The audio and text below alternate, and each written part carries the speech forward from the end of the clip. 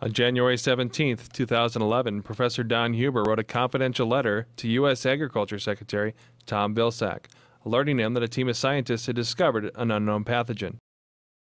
The new pathogen was found in high populations in U.S. corn and soybean crops, specifically crops that have been genetically modified to be resistant to the chemical glyphosate and the number one selling weed killer Roundup. The new organism was linked to an epidemic of plant diseases that had spread across Midwestern fields and found in cattle and dairy herds that were experiencing infertility and spontaneous abortion rates as high as 45%. Professor Don Huber is an internationally recognized plant pathologist and professor emeritus at Purdue University. For the past 40 years, he spent his career as a scientist working in professional and military agencies that evaluate and prepare for natural and man made biological threats, including germ warfare and disease outbreaks. As a plant pathologist, Don Huber is among the most qualified scientists in the world to examine such a serious threat to America's food supply. I'm curious why you wrote Secretary Vilsack the letter prior to the research being published. He had a decision to make relative to Roundup Ready alfalfa. Mm-hmm. We didn't have answers that we needed uh, in this area at the time, and when you start applying glyphosate directly to alfalfa, is it going to be similar to, to increasing the uh, presence of the organism and the possibility in the alfalfa like it does in corn? If that's the case, we could very well lose the most critically important forage crop that we have for our animals. Mm-hmm. And it was a request for that funding so that we could get the answers and for him to delay uh, a decision until the answers could be obtained. The intensity of the problem is such that we can't wait the three to five years to develop all of that research and then finally get it published. These are preliminary results, findings that the, the science is still being conducted. The animal scientists, veterinarians, uh, it's not preliminary for them. Mm-hmm. They, they're, they've uh, very thoroughly documented what the cause of, of the uh, problems are for, in the infertility and the uh, spontaneous abortion situation. I had a report last week of, of three new uh, herds in, uh, one in South Dakota and two in Iowa. They're running 15% infertility, regardless of how many times they tried. They couldn't get the, the heifers to settle. And then on top of that, they were running 35% uh, spontaneous abortion. Well, there's no way to maintain uh, an economic viability in that type of situation, and that's what growers are finding. But in trying to find out what was causing their our animal producers to go out of business, literally, uh, because of the high mortality and, and uh, inability to reproduce, that they started looking at the feed. Said, how are they being infected? Where's this organism come, coming from? Mm-hmm. They then traced it to soybean meal initially. Started looking at, at how it would, how the soybeans would be infected. And you can find it in soil, the organism, you find it internal in the mycelium of the sudden death syndrome fungus. You also find extremely high titers or high populations of this organism in soybean sudden death infected plants. Can you tell us a little bit about the pathogen specifically? The organism is uh, can be seen only in an electron microscope very small, about the size of a small virus. Uh, it's culturable, in other words, it can be grown in culture, uh, which we don't find with the virus. It's not a prion, it's not a mycoplasma. Very small, uh, does replicate, reproduce itself.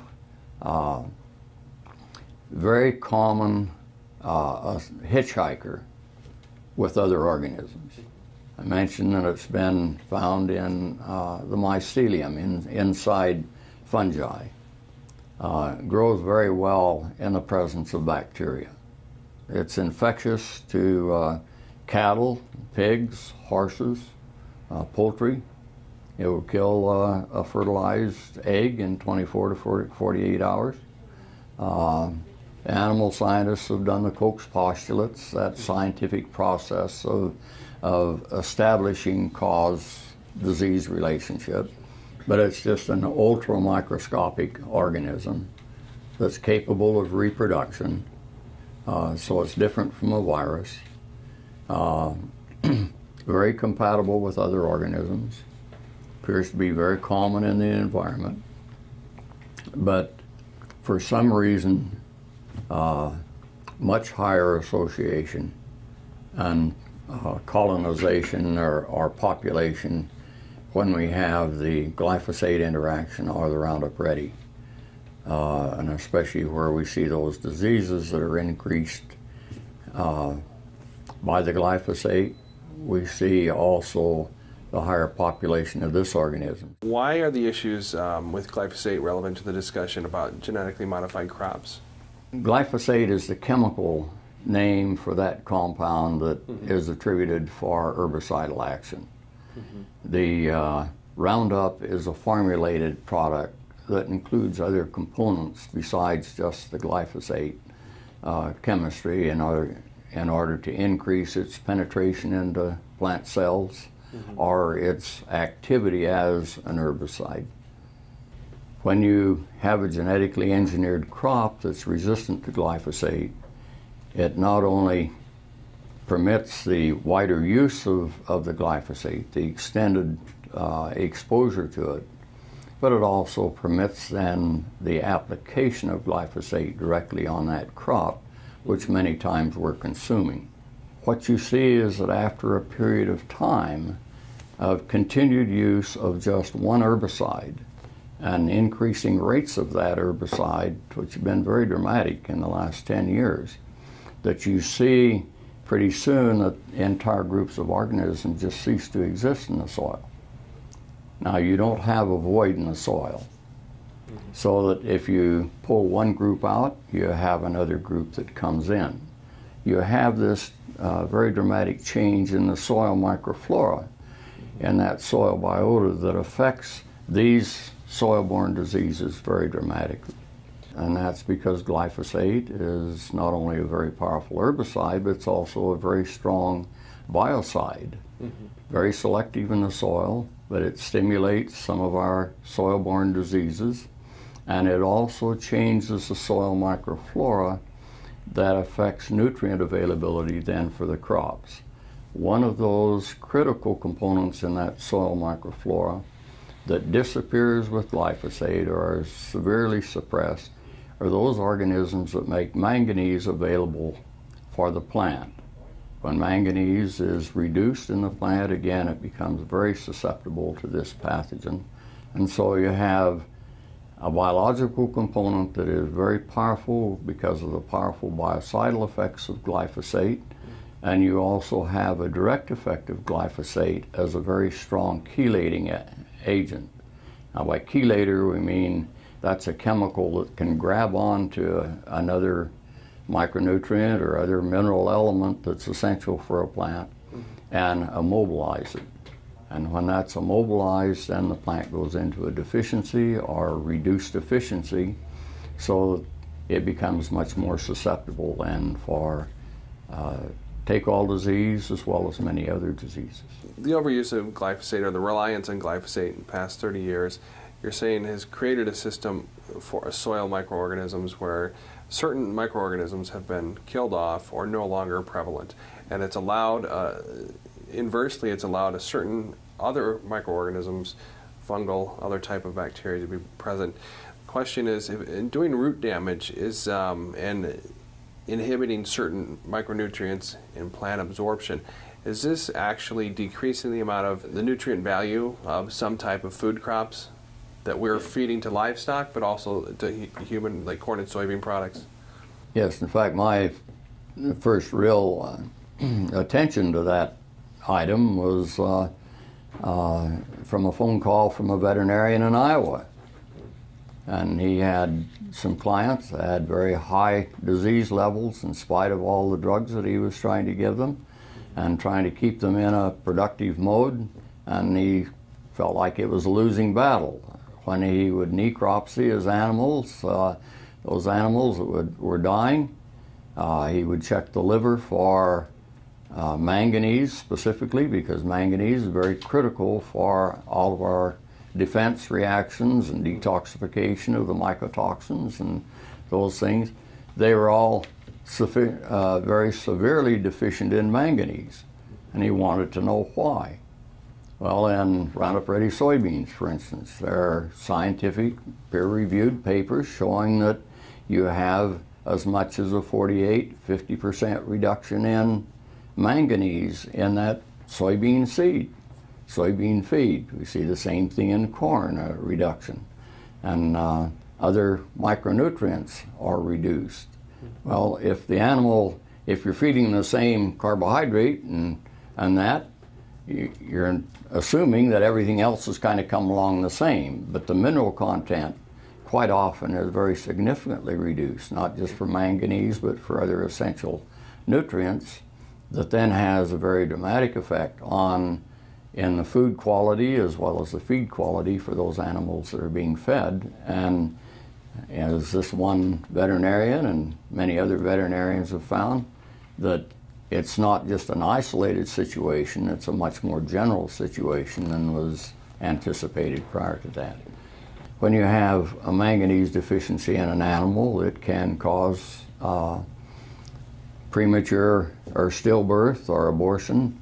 Uh, the animals, those uh, uh, stillborn calves, generally with manganese deficiency, will have kind of an arthritic appearance because manganese is required for calcium deposition. Same thing in, in man.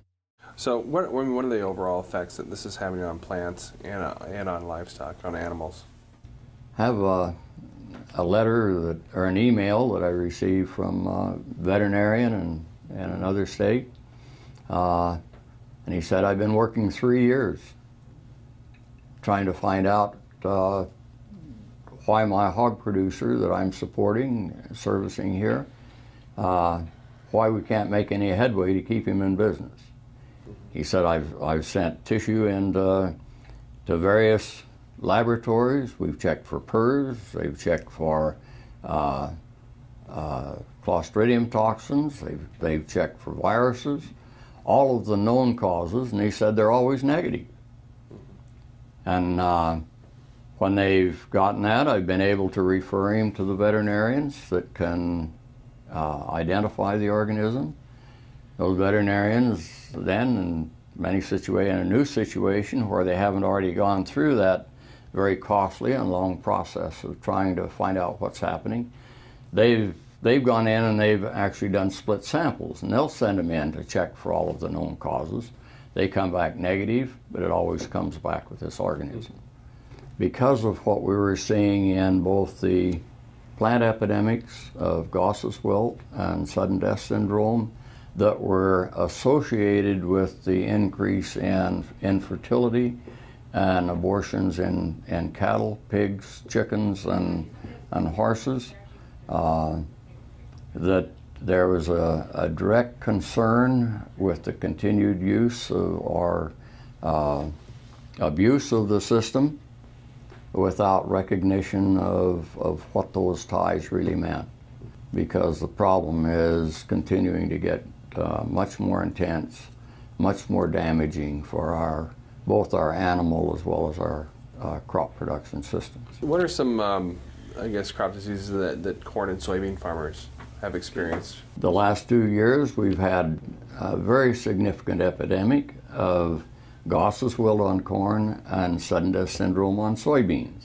We've had to increase the rate of glyphosate, so we've just continually hammered against those organisms that would give us some natural biological control of that disease. The mode of action mm-hmm. of glyphosate as an herbicide is to suppress resistance and increase disease so that when you have any weed that's killed by glyphosate, you've increased its susceptibility to disease. Plant pathologists are also seeing that increased disease and the uh, inability to keep their crop production, their growers efficient and in business. And then you look at the quality of that crop that's been produced which we're growing uh, initially for, for food and feed, even if it's going into alcohol, the rest of that crop's used for feed.